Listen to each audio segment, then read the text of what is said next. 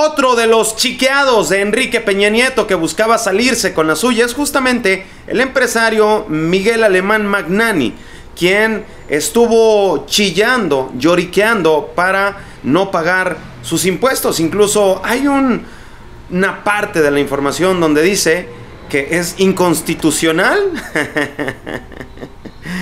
Chiqueado de Enrique Peña Nieto eh, está buscando el SAT que pague sus impuestos justamente, justamente de ese, de ese periodo. Vamos a ver qué está ocurriendo con esto.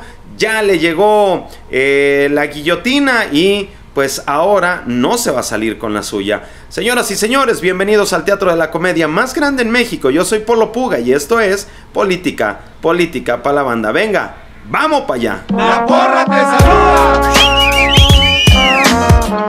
Caballeros, señoritas, reciban un fuerte abrazo donde quiera que se encuentren. Les mando un, afectuoso saludo. Desde luego te invito para que le pongas tu respectivo like a este video. Si no te has suscrito al canal, es momento de hacerlo. Te lo voy a agradecer muchísimo que lo hagas en este, en este instante. Si ya lo hiciste, de verdad, muchas, muchas gracias.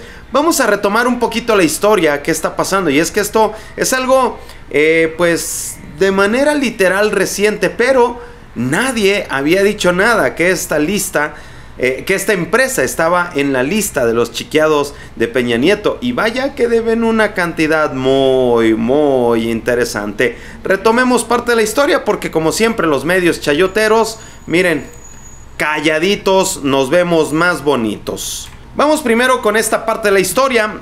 El SAT estaba diciendo en este comunicado con relación al proceso de cobro a una aerolínea el Servicio de Administración Tributaria confirma que está en proceso un acto de cobro por un adeudo a una aerolínea, el cual se encuentra en litigio ante la autoridad judicial.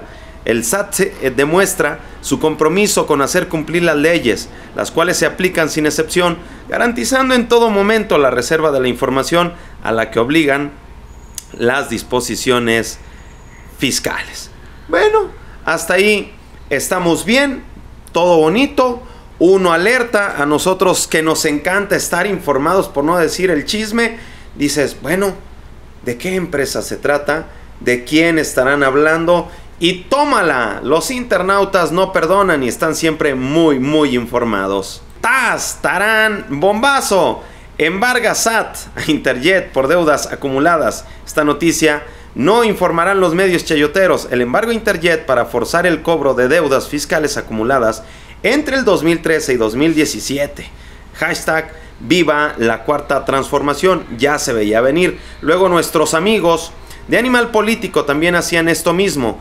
El SAT MX embargó a Interjet con medida para forzar el cobro de deudas fiscales de los años 2013 y 2017. Como bien sabemos, en ese periodo estaba gobernando Enrique Peña Nieto, muy amigo de él, y pues se desató, sí, de cierta manera un caos, porque muchas personas se quedaron con la duda a raíz de esta noticia, pues qué estaba pasando, si les iban a cancelar los vuelos, si no, eh, qué iba a ocurrir con, con este contexto, y pues ahí se pronunciaba Interjet, decía a través de este comunicado de prensa, Interjet, aviso importante en relación con la información publicada respecto a un adeudo fiscal de Interjet, la aerolínea, como otras empresas comúnmente lo han hecho, solicitó un amparo el día 10 de julio del año en curso para que se declare la inconstitucionalidad del cobro y pidió la suspensión de la medida.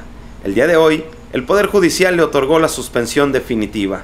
Interjet está aclarando diferencias de impuestos que considera erróneas y por eso las está impugnando. Cuando el SAT determina una deuda fiscal, su resolución se presume válida y legal hasta que no sea declarada nula o inconstitucional por un tribunal administrativo o por el Poder Judicial, tal como sucedió el día de hoy con Interjet. Esta situación de ninguna manera afecta a los pasajeros ni a las operaciones regulares de Interjet. Prácticamente le dicen a sus usuarios, hey, tranquilos, no pasa nada, todo, todo bien, todo correcto, ustedes, ustedes tranquilitos que ellos están actuando por la vía inconstitucional, ¿verdad? Pero parece ser que se les olvidó que están justamente en un gobierno que ha cambiado el régimen y que no le va a perdonar ya esto a nadie, absolutamente a nadie, porque es parte del compromiso que tiene el mandatario mexicano y parte de las reacciones es justamente eso, chequen. Miguel Alemán Magnani es otro de los protegidos de EPN en la condonación de impuestos. Y es que, pues sí, un juez otorga suspensión definitiva Interjet por adeudo de impuestos al SAT.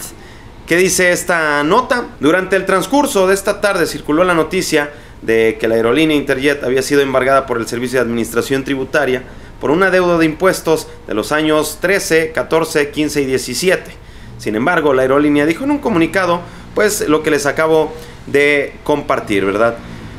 Pues a través de la administración desconcentrada de recaudación local, se busca retener el 10% de todos los ingresos en efectivo de la aerolínea para destinarlos al pago de impuestos pendientes, previo pago de salarios y gastos operativos. Posteriormente, la aerolínea da a conocer que interpuso un recurso legal contra esos pagos por calificarlos como erróneos y esta tarde obtuvo la suspensión de los mismos. O sea, le dieron el amparo. Como bien sabemos, pues estamos prácticamente en el país de, de los amparos, donde estos eh, jueces, estos magistrados, están obviamente a favor de estos neoliberales. Pero, oh sorpresa, señoras y señores, no se salieron con la suya, ni se van a salir, y es lo que el pueblo mexicano quiere, que tanto estas empresas de estos neoliberales donde se vieron beneficiados, obviamente siempre estuvieron eh, sacando provecho y tajada. El pueblo se cansó de ello, ¿verdad? Vamos a compartirles esta información. El SAT, señoras y señores, busca cobrar a Interjet por deudas de IVA acumuladas, como les vengo platicando, entre el 2013 y 2017. El Servicio de Administración Tributario ya decretó el embargo de la aerolínea desde el 26 de junio. En julio se estaba amparando, solicitando este amparo, pero no, ya dijeron no, el SAT ya dijo, vamos a cobrarles los 549.2 millones de pesos por deudas de IVA acumuladas entre el 2013 y 2017, de acuerdo al reforma. Estos documentos obtenidos por el medio confirman que el SAT ya decretó el embargo de la aerolínea desde el pasado 26 de junio y un día después designaron a Serafina América González Ábalos como depositaria de la empresa e interventora.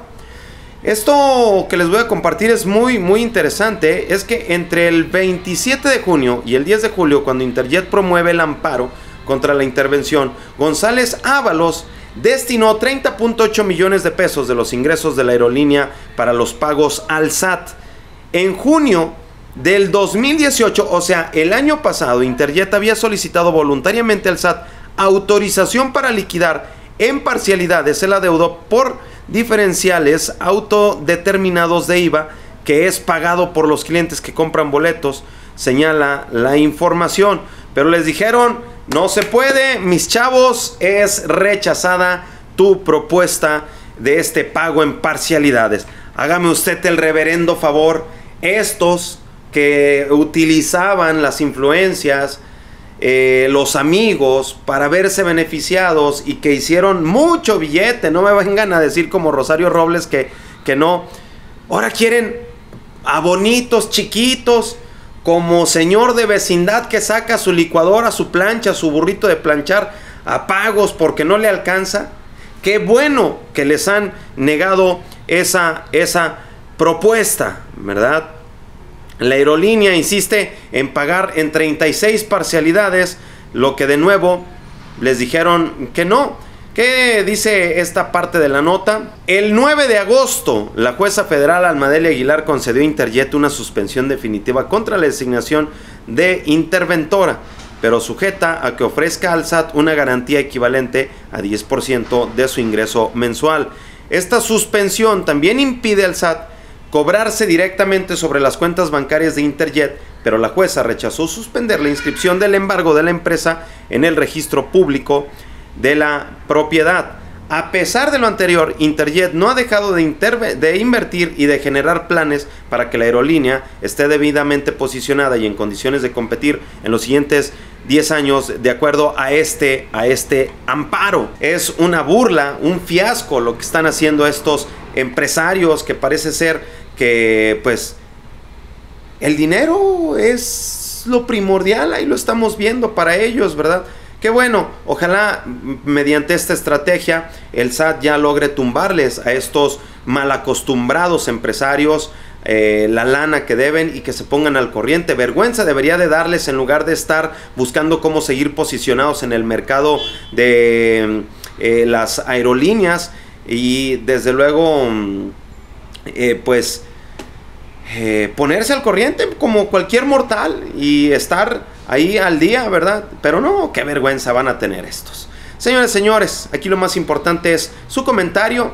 Soy Polo Puga desde el Teatro de la Comedia más grande en México y te invito para que justo en este momento te suscribas al canal. Activa la campanita de notificaciones. Si mi trabajo te gusta, te invito para que lo compartas en todas tus redes sociales, Facebook, Twitter, Instagram, en los diferentes grupos de WhatsApp que tengas a tu alcance para que con ello pues nos ayudes a que más personas interesadas en la información de la cuarta transformación al igual que tú les lleguen estos mensajes. Ahora sí me despido, muchas gracias, un fuerte abrazo donde quiera que se encuentren, que sigan disfrutando de esta rica, deliciosa noche. Soy Polo Puga desde el Teatro de la Comedia más grande en México. Esto fue Política, Política para la banda. Adiós.